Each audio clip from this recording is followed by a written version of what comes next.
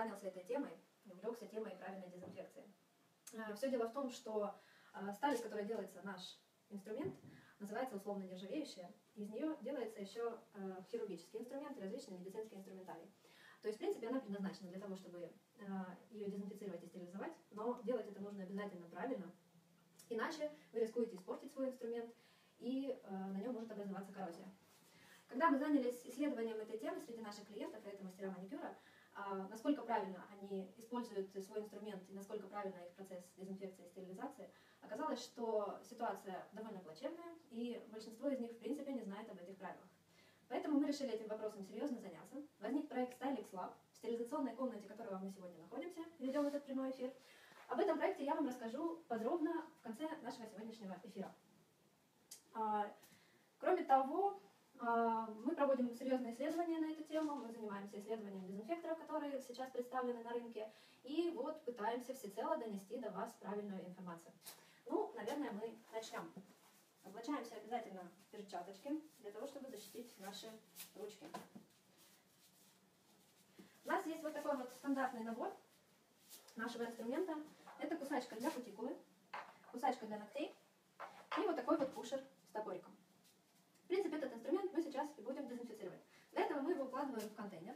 Хорошо. Не спешим.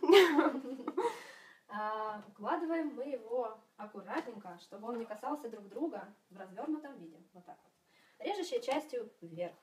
Ну, в принципе, весь инструмент режущий нужно хранить режущей частью вверх и класть его на поверхность. Ну, я думаю, что э, правильному использованию инструмента мы посвятим какой-то отдельный прямой эфир. Мы здесь используем стерилизационные большие трехлитровые контейнеры, потому что мы много стерилизуем инструмента. Но, в принципе, на рынке представлены вот такие вот маленькие, куда помещается один набор. Он очень удобный, с вот такой вот выезжающей штучкой. А, сделан из очень хорошего пластика для того, чтобы а, раствор не реагировал, не вступал в реакцию с этим пластиком. Специально в этом контейнере мы разводим дезинфицирующий раствор.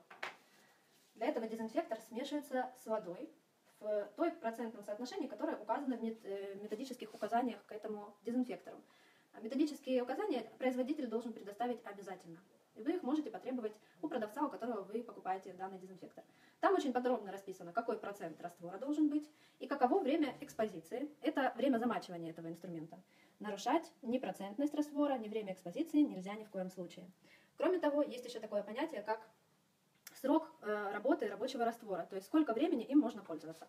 Обычно это от 7 до 14 дней. Поэтому на э, вот этих вот контейнерах мы указываем какой-то раствор, его процентность и дату, когда он был произведен. Если в течение а, этих 14 дней вы заметили, что у вас какие-то появились в растворе инородные тела, или он поменял свой цвет, его нужно обязательно заменить. Такое бывает, в этом нет ничего страшного. А, данный раствор предназначен для того, чтобы в нем дезинфицировать 10 минут. Выкладываем инструмент и замачиваем его.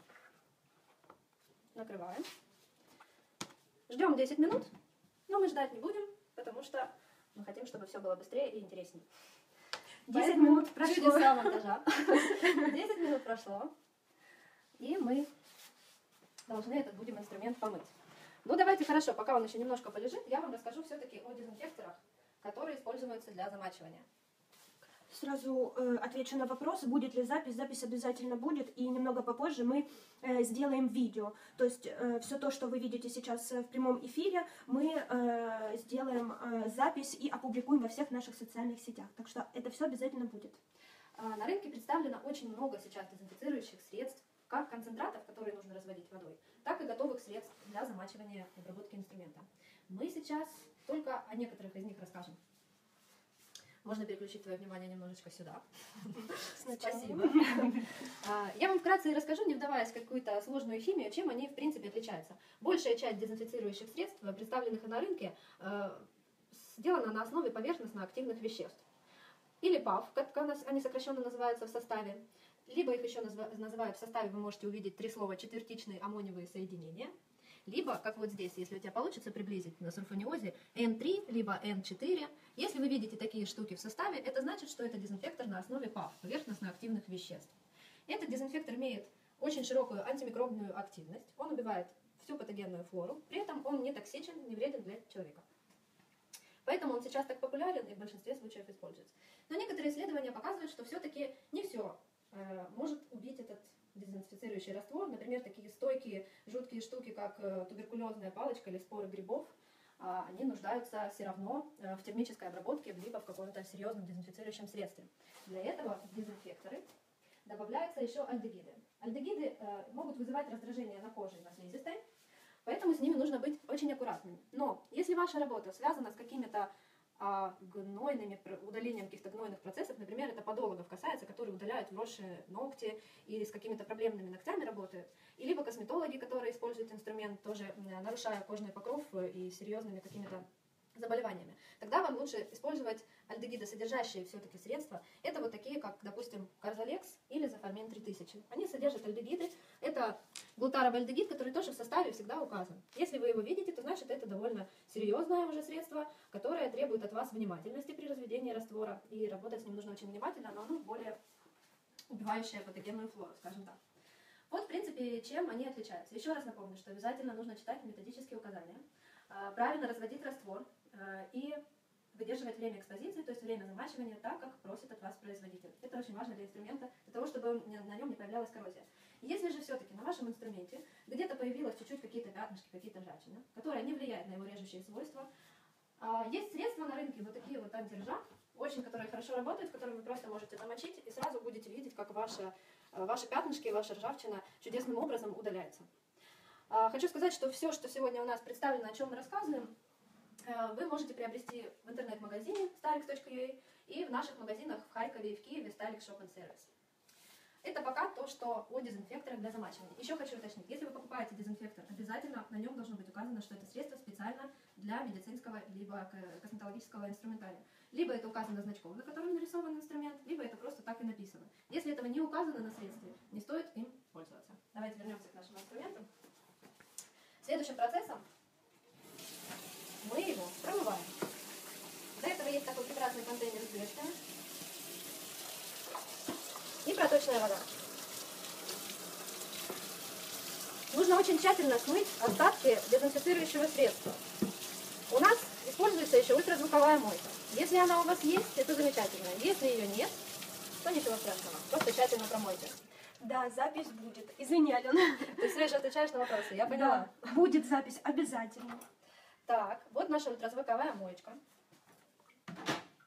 А, чем она хороша?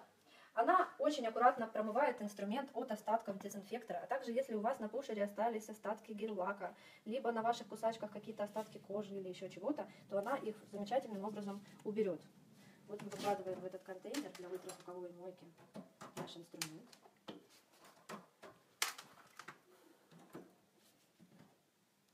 Он наполняется просто водой. Но, в принципе, э, можно использовать дезинфицирующий раствор в ультразвуковой мойке. Э, на дезинфекторах это указано обычно в методических указаниях. Можно использовать в ультразвуковой мойке. Но дезинфекторы на основе ПАВ, о которых я сегодня говорила, они, в принципе, все хорошо работают в мойке.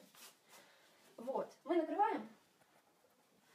Минимальный режим 90 секунд, максимальный 360 секунд. Еще здесь можно подогревать воду, ну, если это необходимость есть. Не будем сейчас тратить на это время. Вытаскиваем наш чистенький инструмент и выкладываем его на бумажное полотенце одноразовое. Теперь он должен высохнуть, хорошо высохнуть, чтобы не было никаких остатков влаги. Мы тоже не будем это ждать. У нас есть уже сухой. Уже сухой инструмент. Мы выкладываем вот в такой вот крафт-пакет. А, крафт-пакет для автоклава. Он, с одной стороны, бумажный, с другой стороны, полиэтиленовый и имеет на себе индикаторы стерильности. А, пакет этот специальный тем, что пар через него проходит, э, внутри него дезинфицируется инструмент, стерилизуется точнее, но при этом а, он остается герметичным, и в нем можно инструмент хранить стерильным 30 дней. Так, в перчатках это сделать немножечко сложнее. Выкладываем наш инструмент.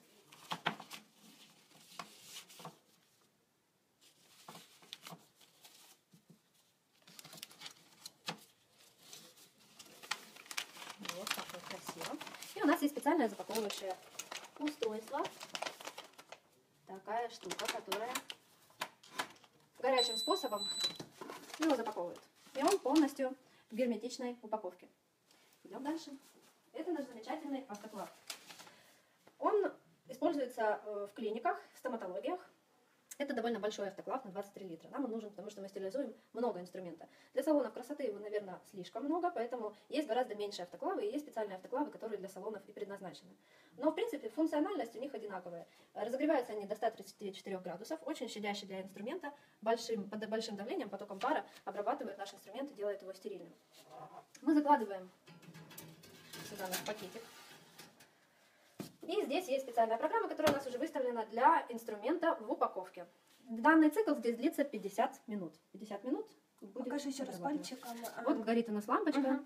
Ну, я же говорю, в разных автоклавах э, эти программы немножко разные. Ну, в данном вот здесь вообще все удобно. Нам ничего не нужно выставлять, он все делает автоматически. Ждать 50 минут мы тоже не будем. И у нас есть уже готовый престерилизованный вот такой вот инструмент. Сейчас я покажу, что касается индикатора стерильности на нашем пакете. Вот так вот. Этот пакет не стерильный, этот пакет стерильный. Вот индикатор стерильности. Из голубого он становится вот таким вот коричневым. Это значит, что э, пакет стерилен. Вы его должны будете вскрыть при клиенте. И можете работать стерильным инструментом.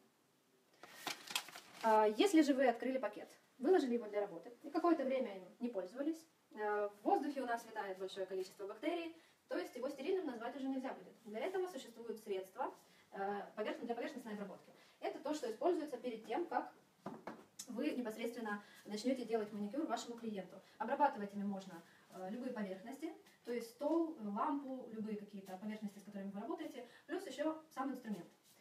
Есть средства, которые еще имеют моющие в себе свойства э, с пеной, для того, чтобы, если вам нужно еще кроме всего что-то помыть. Есть средства, которые просто дезинфицируют. Они наносятся, в основном они всегда со спреем, они наносятся на поверхность, либо на инструмент и вытираются сухой салфеткой.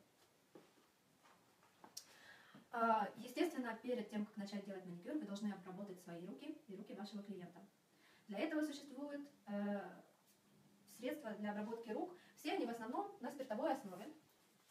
И э, наносятся либо это гели, либо это жидкости. Действуют они одинаково, гели или жидкости, вопрос только удобства нанесения. Для того, их нужно наносить определенную дозу, если это вот с дозатором. То есть выдавить одну дозу на ручке, разнести по рукам. Руки перед этим не нужно мыть, и руки не должны быть влажные, потому что если руки влажные, то нарушается процентность этого средства, и оно уже не работает. А, что еще хотела сказать по поводу э, средств для поверхностной обработки. Очень часто я знаю, что многие мастера их используют для замачивания инструмента, например, бацелол. Очень популярное средство, его разводят с водой, мастера, я о таком слышала, и замачивают инструмент.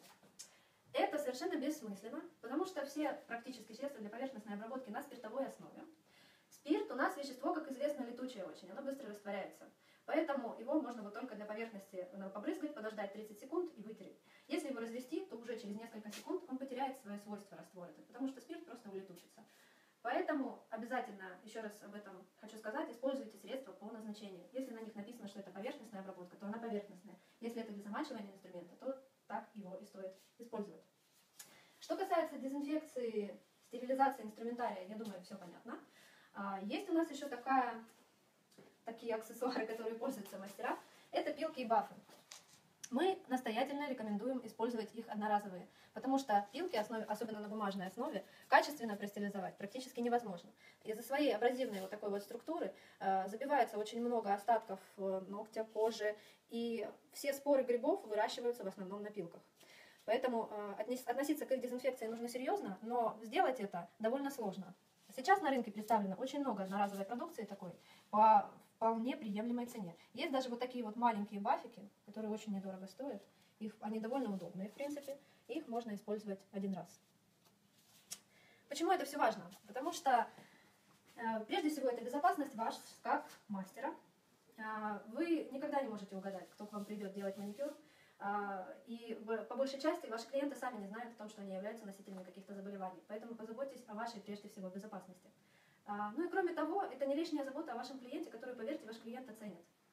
И сейчас все больше эта тема появляется. Сейчас я знаю, что больше клиентов начинают обращать внимание не только на профессионализм своего мастера, как насколько качественно он делает маникюр, но и то, насколько он серьезно относится к дезинфекции своего инструмента.